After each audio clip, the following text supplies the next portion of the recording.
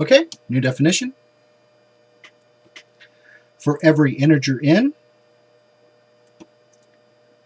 define the element b sub n by b sub n is the three-point set containing the integers n minus 1, n, and n plus 1 if n is even, and is the one-point set, or the singleton set containing the point n, if n is odd. Then the collection script B, consisting of all these elements,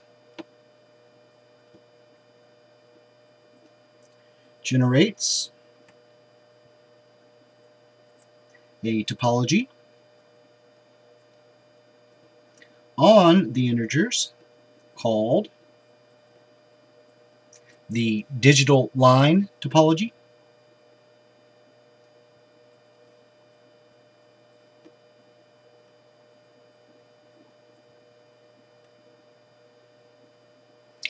So we will now show that this collection script B satisfies the two conditions in the definition for a topology generated by a basis.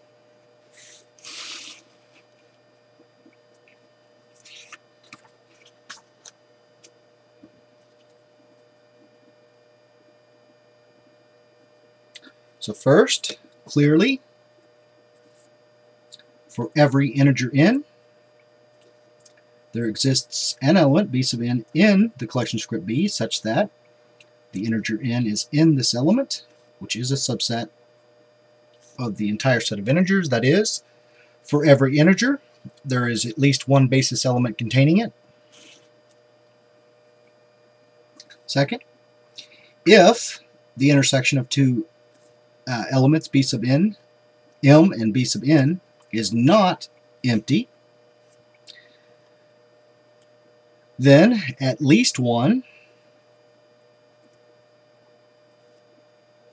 well, four distinct.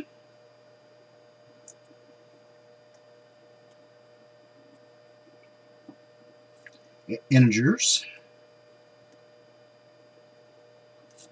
m and n, then at least one of these integers is even.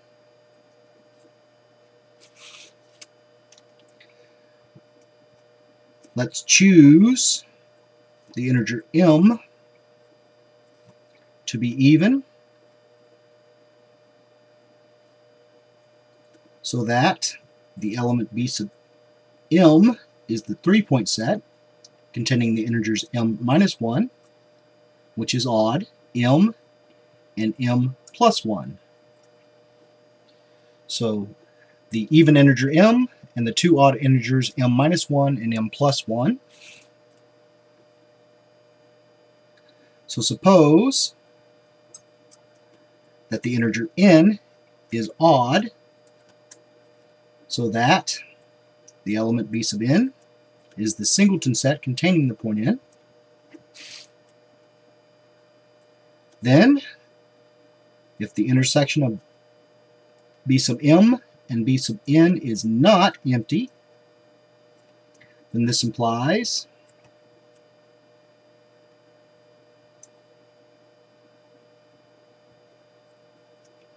that n is either the odd integer m minus 1 or is the odd integer m plus 1. In either case, if the element n is in the intersection of b sub m and b sub n, then there exists the element b sub n in the collection script B such that the integer n is in this element, which is a subset of the intersection of b sub m with b sub n.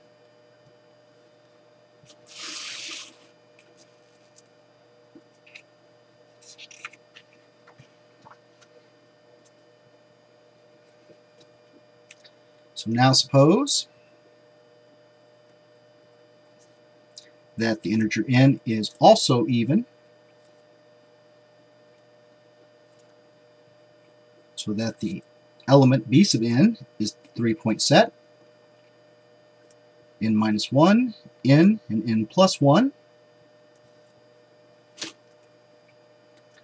So let the element k be in the intersection of b sub m and b sub n. Then the element k is either the odd integer n minus 1, which would be the same as the integer odd integer m plus 1. Notice that in this case, the integer n is 2 plus the integer m, or the integer k is n plus 1, which is the same as the integer m minus 1. Notice that in this case, the uh, integer n is 2 less than the integer m. So the element b sub k is the singleton set containing this point k, which once again is either the integer n minus 1, which is the same as the integer m plus 1, or is the integer n plus 1, which is the same as the integer m minus 1. In either case,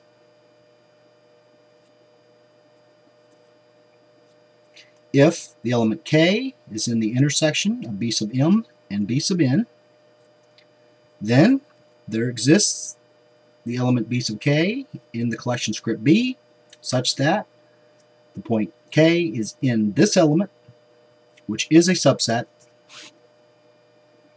of the intersection of b sub m and b sub n. So the second condition is satisfied. And so the digital topology on the set of integers is now defined to be all subsets of the integers such that, or where, for every integer in that subset, there exists an element b sub n in the collection script B such that that integer is in this element b sub n, which is a subset of the given set U. And so uh, the collection script B is a basis for this topology. It was defined to be so. And the space consisting of the integers together with the digital line topology is called the digital line.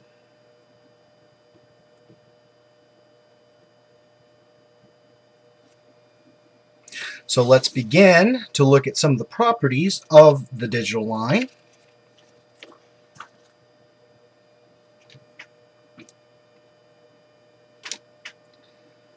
So let the complement of the even integers, that is the odd integers, be denoted by script O.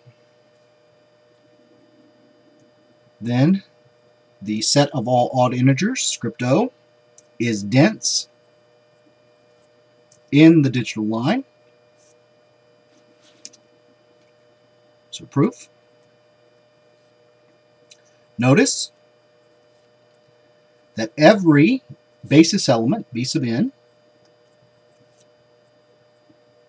contains at least one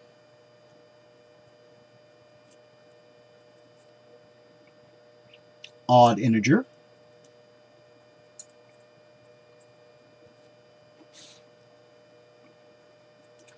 So every non-empty open subset U of the integers, which is a union of some basis elements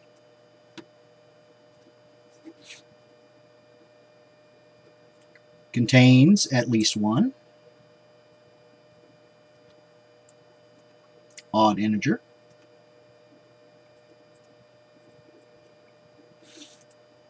That is, for every non-empty open subset u of the integers, the intersection of that non-empty non-empty open subset with the odd integers is not empty, and hence the set of odd integers is dense in the digital line.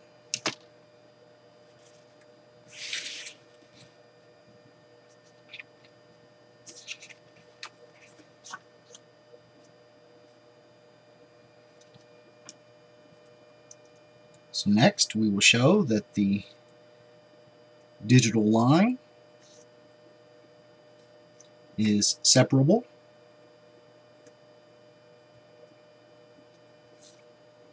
proof. We will show that the dense subset of odd integers is countable.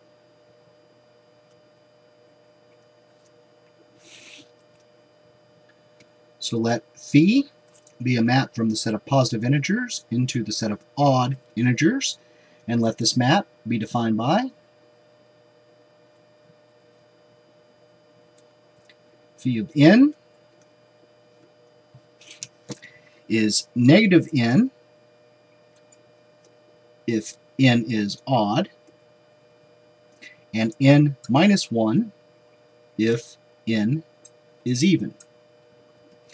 So notice that the odd positive integers are mapped onto the negative odd integers, and that the even positive integers are mapped onto the positive odd integers.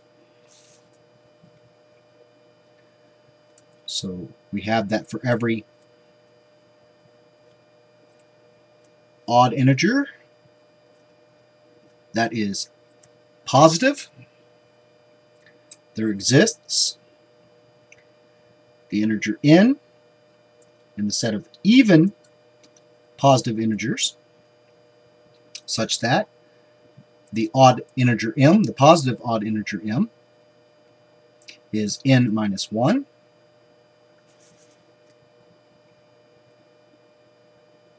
Similarly, for every odd integer that is negative, there exists an integer in the set of odd positive, or rather odd even integers, such that the integer m is equal to negative n. And so for every odd integer,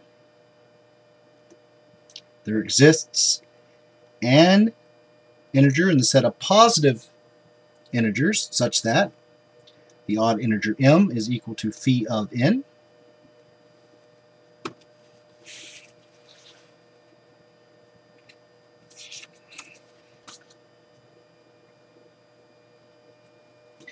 And hence the function phi is surjective. So suppose that phi of m is equal to phi of n, then the positive integers m and n are either both even or both odd. So suppose that the positive integers m and n are both even, then phi of m equal to phi of n implies that m minus 1 is equal to n minus 1 and so m is equal to n. So now suppose that the positive integers m and n are both odd, then phi of m equal to phi of n implies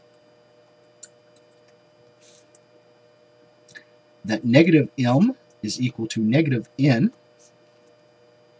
and so m is equal to n.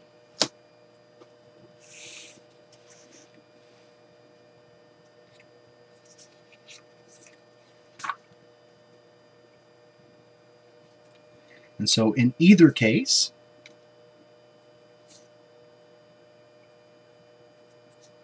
if phi of m is equal to phi of n,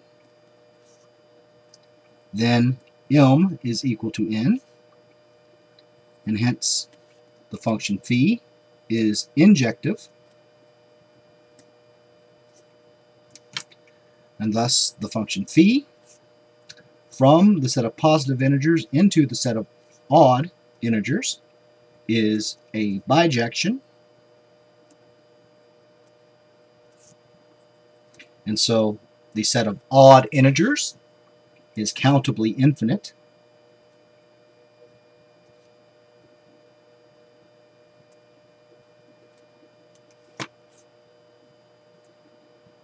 And hence the odd integers, the set of odd integers, is countable.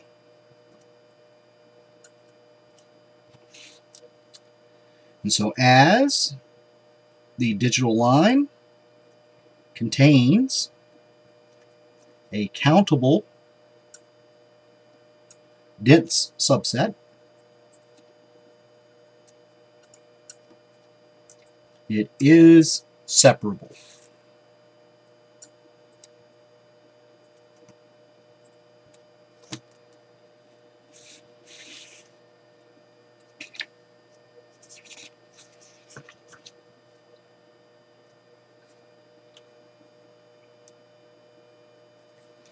So next, let the set of even integers be denoted by script E. Then the set of all even in integers is nowhere dense.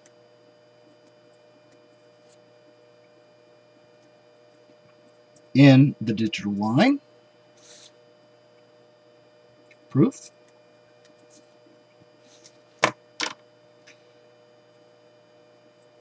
Since the set of all odd integers is dense and the set of all integers is the union of all singletons containing the element n, m rather, where m is odd. It is a union of uh, an arbitrary union of open sets and hence is open.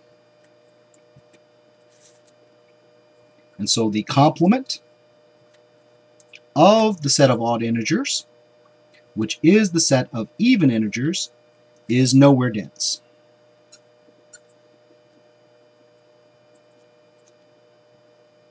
in the digital line. All right, so we'll end here for today. Next time we will continue to look at uh, some of the properties of the digital line as well as some uh, general properties of a basis. So I hope you have enjoyed the seventh lecture. Thanks for watching.